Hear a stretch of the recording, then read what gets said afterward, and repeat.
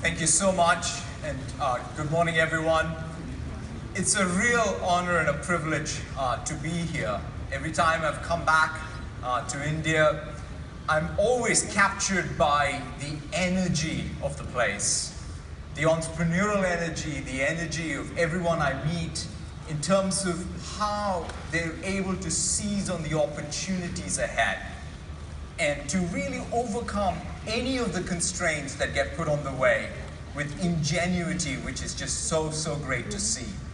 So this morning I wanted to talk about Microsoft and I wanted to talk about our sense of purpose. In fact, I want to start there because every successful company has a core, a core sensibility and a sense of purpose.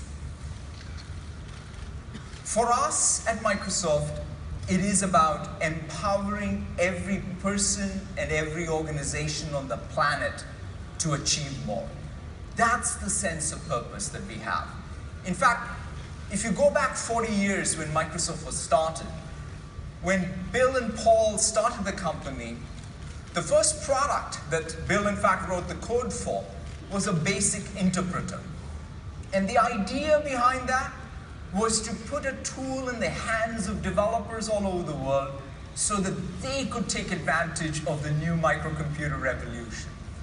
A lot has happened in the 40 years since, but that core sensibility is what drives us even today. We had a mission of putting a PC on every desk in every home. But in retrospect, that was a goal. Our mission was to empower every individual and organization.